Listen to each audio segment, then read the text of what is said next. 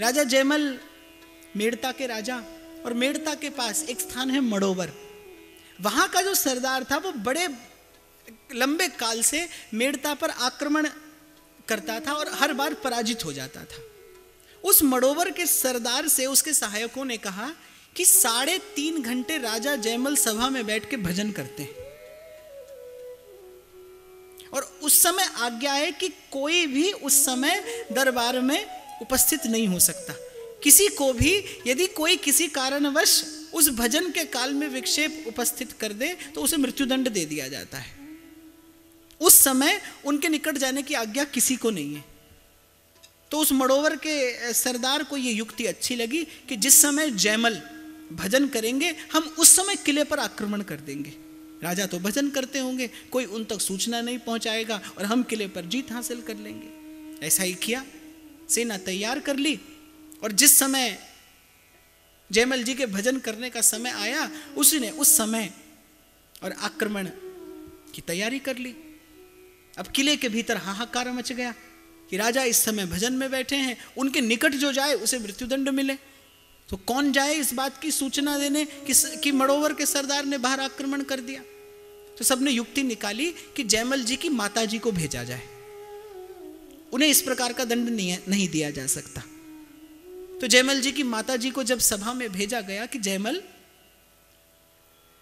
तुम यहाँ बैठे माला फेर रहे हो ये हाथ में तलवार उठाने का समय आ गया है। सरदार ने किले पर आक्रमण कर दिया है। तत्काल जाओ और युद्ध के लिए तत्पर हो जाओ।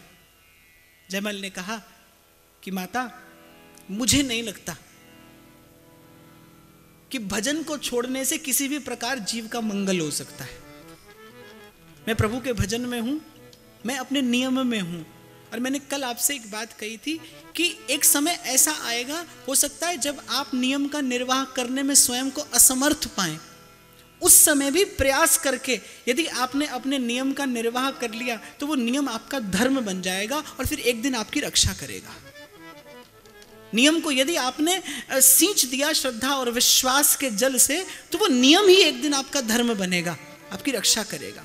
वो इस संसार में, इस लोक में आपकी विजय का हेतु बनेगा।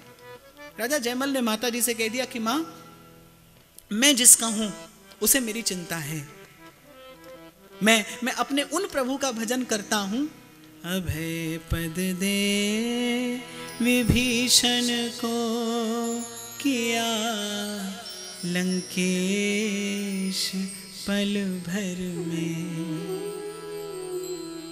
उसी के हाथ है मेरी नाव तो। किस बात की चिंता? सारे सामंत माता हतप्रभ रह गई कि जयमल, ये कैसी कायरों किसी बात कर रहे हो? शत्रु द्वार पर खड़ा है तुम हाथ में माला लिए बैठे हो। वैसे देखा जाए तो ये क्षत्रिय का धर्म नहीं है कि जिस समय शत्रु द्वार पर खड़ा हो उस समय हाथ में माला लेकर बैठा जाए। माला लेने का भी समय होता है और हाथ में भाला लेने का भी समय होता है। और आ, किसी ने कहा है बात बड़ी खूबसूरत है कि तलवार और तहजीब दोनों ज़िंदगी में ज़रूरी हैं। तलवार और तहजीब। एक नहीं होगी तो जान से जाओगे और दूसरी नहीं होगी तो शान से जाओगे। दोनों जीवन में, दोनों ज़िंदगी में होनी ज़रूरी है। इसीलिए हमारे यहाँ, इसीलिए हमारे यहाँ संतों के हाथों में शास्त्र भी रहे हैं और संतों ने समय आने पर शस्त्र भी उठाया है धर्म की रक्षा करने के लिए, संस्कृति की रक्षा करने के लिए। पर यहाँ बात विश्वास की थी। और यदि धर्म की बात आए तो जो सबसे पहला धर्म है, जो सबसे श्रेष्ठ धर्म है, वो आत्मकल्याण है, वो प्रभु का भजन है। तो जयमल ने मन में विचार किया कि यदि मैं कोई और कार्य करता होता तो तत्काल छोड़कर चल देता, पर मैं प्रभु के भजन में हूँ, मैं अपने प्रभु की सेवा में हूँ।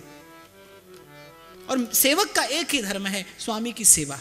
मैं अपने प्रभु की सेवा में हूँ और मुझे नहीं लगता माँ कि भजन छोड़ने से कभी किसी किसी जीव का मंगल हो सकता है।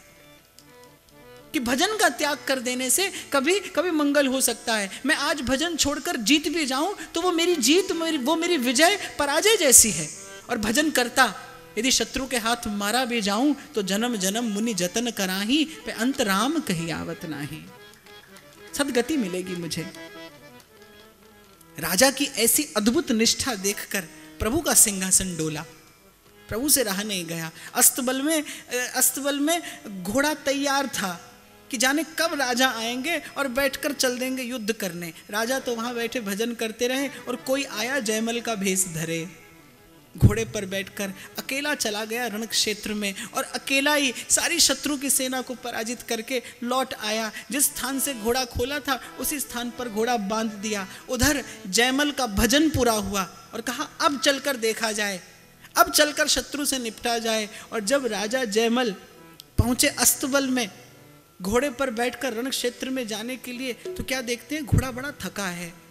पसीना चुराए घोड़े के शरीर से। जैसे अभी अभी कोई बड़ी लंबी यात्रा के बाद इसे यहाँ छोड़कर गया हो। उधर विजय ध्वनि मंगल गान होने लगे, नगाड़े बजने लगे, विजय सूचक ध्वनि होने लगी। राजा जयमल मन में विचार करते हैं कि अभी कुछ देर पहले माता चिंतित आई थी कि शत्रु द्वार पर खड़ा है। मैं भीतर भजन में था और अभी द्वार पर विजय ध्वनि बज रही है। विजय की ये ये उद्घोष सुनाई दे रहा है। राजा जयमल को समझ में नहीं आई। चहु ओर से नगरवासी आकर राजा को बधाई देने लगे। विजय की, जीत की प्रशंसा करने लगे कि आज आपने रणभूमि में ऐसा कौशल दिखाया कि अकेले ही सारी शत्रु सेना का नाश कर दिया। राजा जयमल सोचते विचारते रह गए, फिर मन में विचार किया। दीन दयाल, सुने जब ते, तब ते मन में कछु ऐसी बसी है। तेरो कहा जाओ कहाँ? तेरे ही नाम फेंट कसी है। तेरो ही आसरो, एक मलूक नहीं तुम सा कोई और जसी है। ए हो मुरारी, पुकार कहो अब मेरी हँसी नहीं, तेरी हँसी है। ए हो मुरा उसी घोड़े से लिपट लिपट कर रोने लगे, अपने घोड़े से कहने लगे कि, अरे, कितना बड़भागी है जो तुझे मेरे प्रभु के श्री अंग का संस्पर्श लाभ हुआ है। प्रभु ने आज तेरी सवारी करके तेरा तेरा जन्म जीवन कृतार्थ कर दिया, मंदिर में पहुँचे। श्री ठाकुर जी को छाती से लिपटा। रोने लगे, प्रभु, मुझसे तो जीवन भर आपकी कोई सेवा बन नहीं पड़ी। मैं तो जीवन भर आपकी किसी सेवा के योग्य स्वयं को नहीं कर पाया। मेरे आधे अधूरे इन भावों को स्वीकार करके आपने अपनी कृपा का आज कैसा परिचय दिया? कि मुझ दास के लिए आपने इतना परिश्रम किया?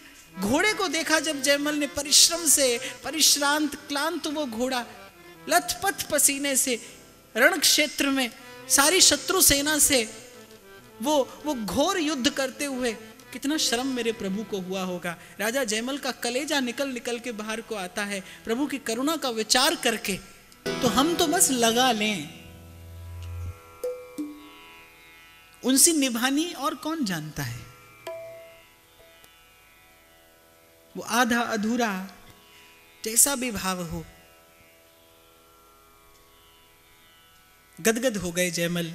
स्वयं पर प्रभु की कृपा का विचार करके भक्ति प्रगाढ़ हो गई। भावना गहन गंभीर हो गई।